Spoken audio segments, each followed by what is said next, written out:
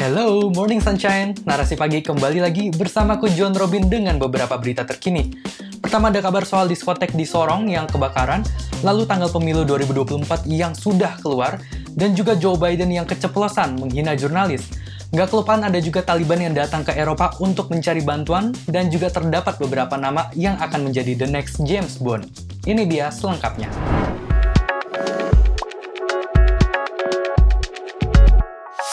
Buntut dari pertikaian dua kelompok pemuda, sebuah tempat hiburan malam di Sorong, Papua Barat terbakar selasa dini hari. Kebakaran di tempat karaoke Double O menelan belasan korban jiwa. 18 orang meninggal dunia karena terjebak di gedung itu. Mereka adalah pegawai dan pelanggan karaoke tersebut. Sementara satu orang meninggal datang dari kelompok yang bertikai. Menurut keterangan polisi, aksi ricuh dimulai sejak pukul 23.45 waktu Indonesia Timur. Dua kelompok warga saling menyerang dengan parang, panah, hingga bom molotov. Kericuhan itu membuat situasi tak terkendali dan berujung pada pembakaran Double O. Kepolisian hingga kini belum mengetahui pasti motif di balik pembakaran tersebut. Mereka tengah melakukan penyelidikan dan pemeriksaan untuk mengusut kasus dengan tuntas. Kita berharap ya, kepolisian setempat bisa mengusut tuntas dalang di balik kejadian ini. Setelah 8 bulan pembahasan, akhirnya KPU, DPR, dan juga pemerintah menyepakati tanggal pemilihan umum 2024. Sesuai usul KPU, pemilu akhirnya bakal diselenggarakan pada 14 Februari 2024. Kesepakatan soal tanggal pemilu tersebut diputuskan dalam rapat kerja antara Komisi 2 DPR, Kementerian Dalam Negeri, KPU, dan Bawaslu di gedung DPR Senin 24 Januari 2022. Sembilan fraksi di DPR secara bulat menyepakati tanggal ini. Penetapan ini menepis spekulasi penambahan masa jabatan presiden menjadi tiga periode. Dengan telah ditetapkannya tanggal pemilu, penyelenggara pemilu yakni Komisi Pemilihan Umum dan Badan Pengawas Pemilu dapat segera melakukan persiapan. Meski sudah sepakat soal tanggal pemilu, pemerintah, DPR, dan penyelenggara pemilu belum sepakat soal masa kampanye. Ketua KPU, Ilham Saputra punya usul, Kampanye berlangsung selama 120 hari, dimulai sejak 14 Oktober 2023. Sementara Menteri Dalam Negeri Tito Karnavian bilang, kampanye sebaiknya dipersingkat menjadi 90 hari, supaya masyarakat enggak lama terbelah jadi sejumlah kubu. Nah, karena hari pencoblosannya barengan nih sama hari Valentine, yuk kita damai dan juga saling menghormati pilihan satu sama lain. Ada yang keceplosan nih.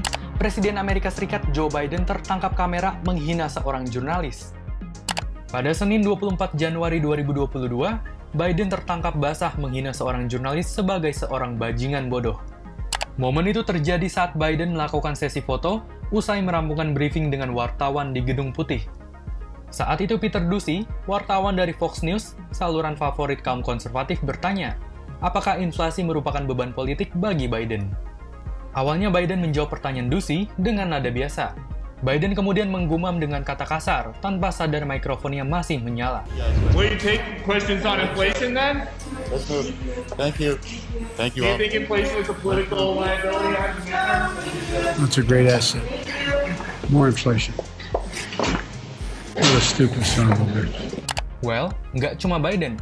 Presiden AS sebelumnya, Donald Trump juga sempat bermasalah dengan jurnalis.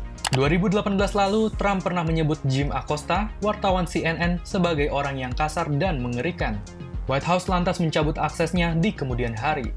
Di 2020, Trump juga pernah walk out setelah terlibat cekcok dengan jurnalis CBS News keturunan Asia Amerika, Wei Chia-chang. Saat itu ia memberikan jawaban ngawur yang bahkan terkesan rasis karena membawa-bawa Cina. Maybe that's a question you should ask China. Don't ask me, ask China that question, okay? When, What, sir, why are you saying that to me specifically? I'm telling you, I'm not saying it specifically to anybody. I'm saying it to anybody that would ask a nasty question That's like not a nasty. Aduh, bapak-bapak nih, yuk ditahan yuk emosinya, nanti darah tinggi loh. Setelah lebih dari 100 hari rezimnya bertahan, Taliban kini di ujung kebangkrutan. Apa yang mereka lakukan agar dapat bertahan? Afghanistan dilanda krisis, beberapa warga bahkan harus menjual anak mereka demi mendapatkan makanan.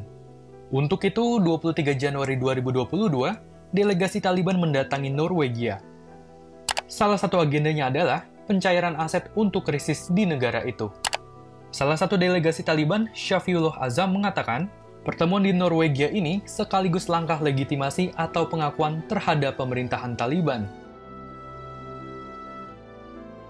Selain Norwegia, menlu Taliban Amir Khan Mutaki juga berkunjung ke Pakistan pada Desember 2021 lalu.